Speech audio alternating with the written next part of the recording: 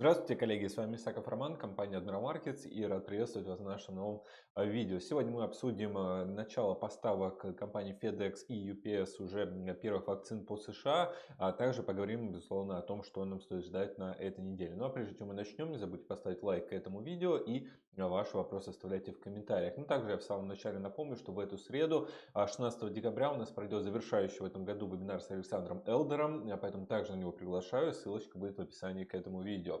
Ну а начнем мы с эм, а, информации по э, вакцине от Pfizer в пятницу, где подписала разрешение на использование вакцины, ну и, собственно, незамедлительно начали э, готовиться к поставкам. Уже первые поставки начнутся в понедельник э, и, собственно, затронут э, все штаты США. То есть, в первую очередь, будут вакцинироваться, конечно, которые э, работают на передовой, э, связаны с здоровьем, то есть которые связаны, э, работают в первую очередь в больницах, да, медперсонал и э, первая вакцинация а, пройдет среди них. Ну и уже э, компании UPS, FedEx, собственно, опять же, они выступают в данном случае самыми ну, бенефициарами данного а, предприятия, ну и, в принципе, как всего коронавируса, это они будут заниматься доставками по США. А, соответственно, сейчас мы также видим то, что это а, определенный позитив, да, безусловно, для рынка. А прошлая неделя завершилась для фондового рынка под знаком коррекции, хотя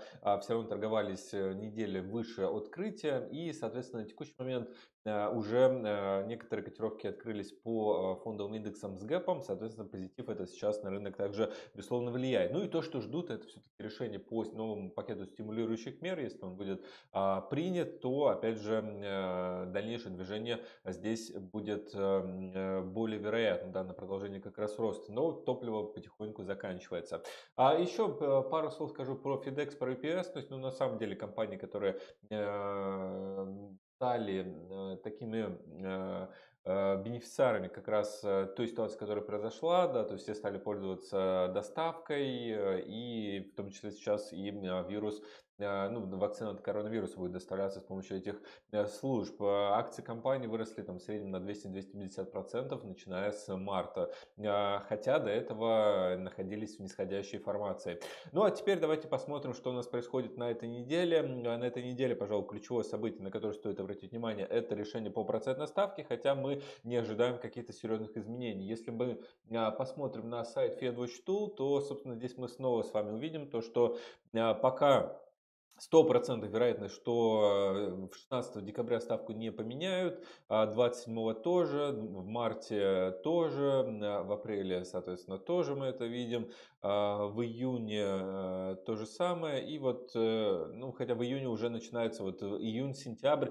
2% есть вероятность того, что ставку могут начать повышать, то есть фактически до этого периода времени а, политика останется той, которой она есть сейчас, ставки продолжат, продолжат удерживаться на около нулевых значениях, но, собственно, Э, тот вектор движения, который мы сейчас видим на рынке, он, скорее всего, будет также а, продолжаться. Ну а теперь э, разберем тоже, э, в принципе, это из основных инструментов, это то, ну, на что стоит пока обратить внимание. Также выйдут данные по, а, ну, пройдет, безусловно, пресс-конференция после решения ставки по ФРС, и также будет решение Банка Англии по процентной ставке. Но, опять же, здесь с большей вероятностью она останется на а, прежнем уровне, и по Великобритании это 0,1%.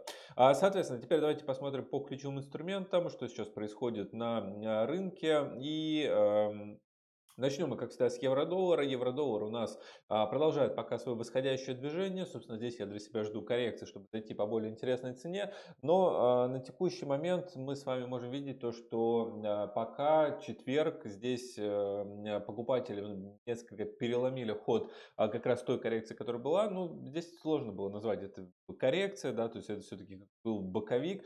И сейчас а, цена вновь а, пытается вернуться на 1.2170 и уйти уже дальше на 1.22. С текущих уровней я входить не буду, будет более затяжная коррекция, тогда зайду. А по британской валюте, вот тут чуть более интересно. А по британской валюте здесь мы видим более затяжную коррекцию. На текущий момент сегодня открылись также с гэпом. И фактически вот э, с текущих уровней можно было бы попробовать как раз данную позицию найти. Здесь я для себя поставлю, э, ну вот вместе с вами мы это можем сделать, да, то есть я не сделал это до видео. Но, собственно, вот с текущих уровней по британской валюте, в принципе, выглядит э, вход довольно-таки неплохо. И Давайте посмотрим стоп-лосс 1.3122. То есть вот таким образом здесь я бы сюда попробовал войти, если а, соответственно, движение здесь эм, будет еще коррекционным. А, посмотрим, нет, это слишком много в рисках, удалю, поставлю только одной сотой лота. И э, чуть меньше все-таки возьму риск, чем полпроцента. И э, попробую таким образом. То есть вот фактически по, эм, по многим инструментам, я думаю, что вы уже обратили внимание, что у меня не так много сделок было за последний месяц, только золото я покупал, но рынок э, не дает. Зато были интересные возможности именно на фондовом рынке, именно с точки зрения добавления акций э, в инвестиционный портфель. Сейчас ставлю здесь, э, чуть я скорректирую стоп-лосс поближе сюда. То есть вот э, если будет вот эта коррекция, если пойдем закрывать гэп, как раз который был, и чуть ниже опустимся, то есть вот по этой цене э, я бы вошел с перспективой как раз обновления локальных максимумов, которые мы видели на 4 а, декабря, 4 декабря, то есть где-то 1.3540. То есть вот такой пример сделок, который я для себя выбираю э, и э, как я их, э, собственно, также выставляю. То есть вот виден диапазон, видно движение, где я хочу войти, видно соотношение риск-прибыль. И в этом случае как раз вот в такую сделку я обошел. То есть, опять же, сейчас входить в нее потенциал движения, как и потенциал риска один к одному. Но вот если будет коррекция, тогда такая сделка будет уже более-менее интересной. Конечно, сейчас можем уйти просто в рост и без коррекции. Без этого, конечно, никуда. Эта вероятность она сохраняется. Но, тем не менее, если эта коррекция будет, то я войду. А по паре американский доллар, канадский доллар, здесь э, торгуемся вблизи минимальных значений, пока минимум, который был в четверг, мы еще не обновили, но общее движение сохраняется нисходящее. Опять же, по текущему минимуму я входить не буду, а будет коррекция, тогда буду рассматривать для себя дополнительные точки для а, входа. Но пока мы видим, что ничего не меняется, уже на протяжении нескольких недель движение нисходящее по данной валютной паре э, сохраняется. А, пара американский доллар, японская иена делают попытки выйти как раз из того треугольника, который мы ранее отмечали в зону нисходящего движения, но пока все еще мы видим сужение амплитуды, которая у нас идет в декабря, и пока мы минимум начала декабря не обновили, поэтому пока все-таки здесь сохраняется опять же боковик, то есть тут я до момента выхода как раз этого боковика ничего предпринимать не буду, но для себя больше рассматриваю движение восходящее, после которого я буду как раз искать возможности продать, да, то есть от, от уровня там 105, 105, 105, 50, вот с этих уровней в продаже я бы уже входил. По австралийцу новый локальный максимум был сформирован в пятницу, сейчас также на открытие цена продолжает обновлять, э, ну уже торгуемся выше открытия и движемся на обновление вновь локальных максимумов, которые здесь были по 75-71.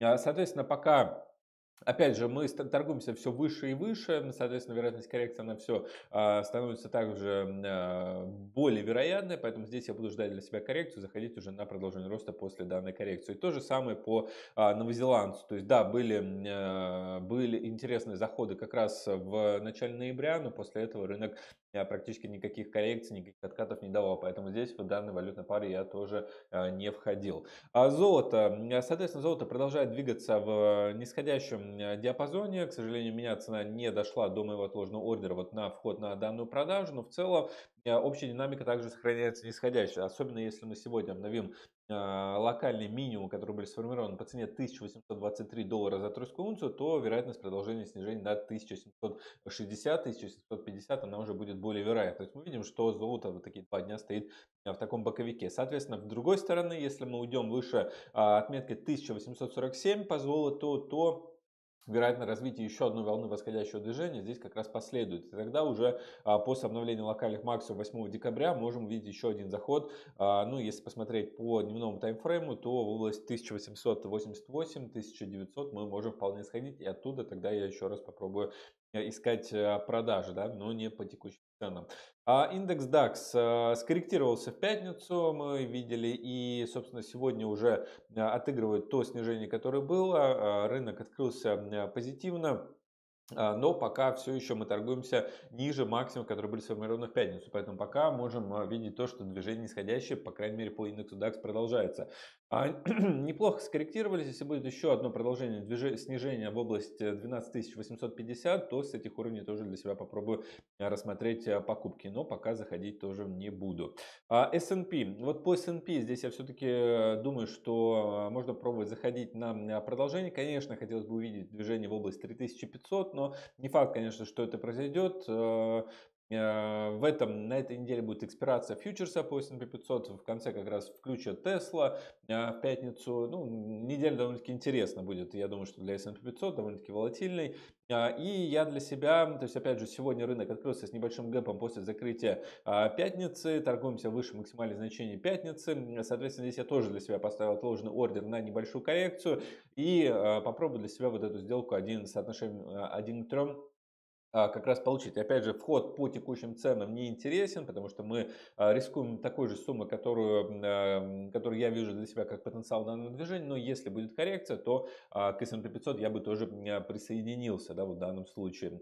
Поэтому пока ждем, ждем, будет ре реализован данный сценарий. Ну а нефть Brent продолжает расти. На прошлой неделе был ну, локальный максимум уже выше отметки 50 зафиксирован. Сейчас также цены на CVD по нефти марки Brent подрастают. Ну, соответственно, ближайшие цели это уход выше максимальных значений, которые были 10 а, декабря. Это обновление локальных максимумов, которые были по цене 50-97, да, то есть ну, практически 51 доллар а, по нефти марки Brent. Соответственно, вряд ли мы здесь можем, конечно, ожидать взрывного роста там до, ну, диапазон 50-60 вполне мы можем увидеть, и нефть может продолжать а, также отыгрывать позитив с точки зрения распространение а, уже вакцины, а, восстановление работы экономики и, в принципе, здесь по нефти пока наметился восходящий тренд и я думаю, что на пару месяцев его, в принципе, должно хватить. Ну а дальше уже будем смотреть, как будут восстанавливаться как раз производство, будет восстанавливаться потребление нефти, и тогда уже вернемся еще раз. Ну, безусловно, будем периодически также возвращаться. А, ну, на сегодня это все, как я уже сказал, то есть э, из макроэкономических событий э, это важно обратить внимание на решение по процентной ставке, но в первую очередь, скорее всего, ставка останется на прежнем уровне, но, возможно, что-то уже на заседании ФРС э, будет сказано дополнительно. А также позитивом сейчас на рынке является начало поставок вакцины именно по США, ну, в первую очередь для рынка, фондового рынка США это является, но а, и для а, всех других э, тоже, так как э, США является таким э, главным как раз рынком да, для многих стран. Поэтому на сегодня это все. Всем желаю хорошего дня. Увидимся с вами в среду. Не забудьте поставить лайк к этому видео. Ну а ваши вопросы, которые появились, обязательно оставляйте в комментариях. Всем спасибо за внимание и до свидания.